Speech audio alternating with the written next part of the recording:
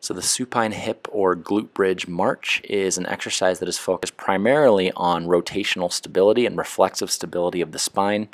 As we lift one leg, obviously the body has to kick on spinal stabilizers to prevent the hip from dropping to that side.